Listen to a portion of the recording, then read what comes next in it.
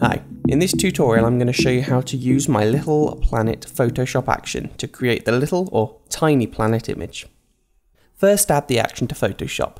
Right click and open with and navigate to your Photoshop. This is on Mac but it's the same process with Windows. I'll open an equi-rectangular pano to get started. You might not have the Actions tab open.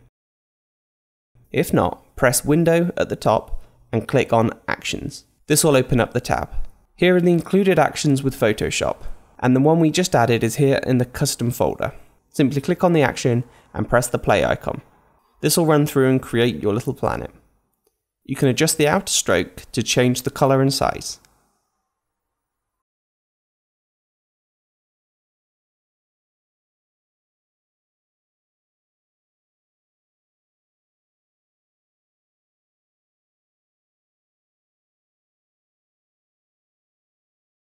One thing you might need to do is turn off the dialog so it doesn't show all the messages.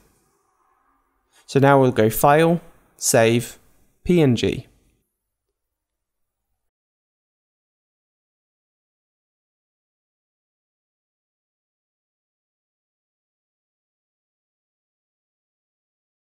Over in 3D Vista, go into the caps, add cap, and select the PNG we just created.